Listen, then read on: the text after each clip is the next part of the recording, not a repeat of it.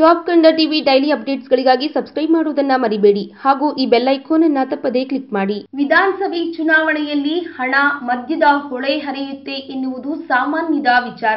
ಬಾರ್ಗಳ ಮಾಲೀಕರು ಈ ವಿಧಾನಸಭೆ ಚುನಾವಣೆ ಸಂದರ್ಭದಲ್ಲಿ ಭರ್ಜರಿ ವಹಿವಾಟಿನ ನಿರೀಕ್ಷೆಯಲ್ಲಿದ್ದಾರೆ.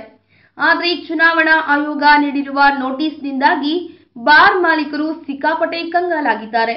ಇನ್ನು ನೀತಿ ಸಂಹಿತೆ ಉಲ್ಲಂಘನೆಯಾಗದಂತೆ ಸುಗಮವಾಗಿ ಚುನಾವಣೆ ನಡೆಸಲು ಚುನಾವಣಾ ಆಯೋಗ ಕಟ್ಟುನಿಟ್ಟಿನ ಕ್ರಮ ಕೈಗೊಂಡಿದ್ದು, ಮದ್ಯದ ಹೊಳಗೆ ಕಡಿವಾಣ ಹಾಕಲು ಮುಂದಾಗಿದೆ. ಕೆಲವು ಬಾರ್ಗಳ ಮಾಲೀಕರಿಗೆ ನೋಟಿಸ್ ನೀಡಲಾಗಿದೆ. ಮದ್ಯ ಎಷ್ಟು ಪ್ರಮಾಣದಲ್ಲಿ ಮಾರಾಟವಾಗಿದೆ ಎಂಬ ಮಾಹಿತಿಯನ್ನ ಅಬಕಾರಿ ಇಲಾಖೆ ಮೂಲಕ ನೀಡುವಂತೆ ಸೂಚಿಸಲಾಗಿದೆ. ಇನ್ನು ಚುನಾವಣೆ ಅವಧಿಯಲ್ಲಿ ಈ ತಿಂಗಳಲ್ಲಿ ಮಾರಾಟವಾದ ಮದ್ಯ ಮತ್ತು ಕಳೆದ ವರ್ಷ ಇದೇ ಅವಧಿಯಲ್ಲಿ ಮಾರಾಟವಾದ ಮದ್ಯದ ವಿವರ ನೀಡಲು ತಿಳಿಸಲಾಗಿದೆ. ಇನ್ನು ನಿಯಮ ಮೀರಿ ಜಾಸ್ತಿ ಮದ್ಯವೇನಾದರೂ ಮಾರಾಟ ಮಾಡುವ ಬಾರ್ಗಳಿದ್ರೆ ಅಂತಹ ಬಾರ್ಗಳ ವಿರುದ್ಧ ಕ್ರಮ ಕೈಗೊಳ್ಳುವ ಸಾಧ್ಯತೆ ಇದೆ. ಇದರಿಂದಾಗಿ ಇದೀಗ ಬಾರ್ ಮಾಲೀಕರು ಸಿಕ್ಕಾಪಟ್ಟೆ ಕಂಗಾಲಾಗಿದ್ದಾರೆ.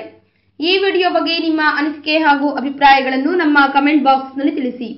ಈ ವಿಡಿಯೋನ ಲೈಕ್ ಮಾಡಿ ಶೇರ್ ಮಾಡಿ ಹಾಗೂ ಮತ್ತಷ್ಟು ಲೇಟೆಸ್ಟ್ ಅಪ್ಡೇಟ್ಸ್ಗಾಗಿ ತಪ್ಪದೇ ನಮ್ಮ ಯೂಟ್ಯೂಬ್ ಚಾನೆಲ್ ಅನ್ನು ಸಬ್ಸ್ಕ್ರೈಬ್ ಮಾಡಿ. Top Kannada TV. Top Kannada TV. Top Kannada top Kannada TV. Top Kannada. Top Kannada ಟಿವಿಗೆ. Top Kannada. Top Kannada TV. Top Kannada TV. ನಮಸ್ಕಾರ ನಿಮ್ಮ ಶ್ರೀ ಮುರಳಿ. ಟಾಪ್ ಕನ್ನಡ ಚಾನೆಲ್ಗೆ ಲೈಕ್ ಮಾಡಿ ಶೇರ್ ಮಾಡಿ ಹಾಗೂ ಸಬ್ಸ್ಕ್ರೈಬ್ ಮಾಡಿ.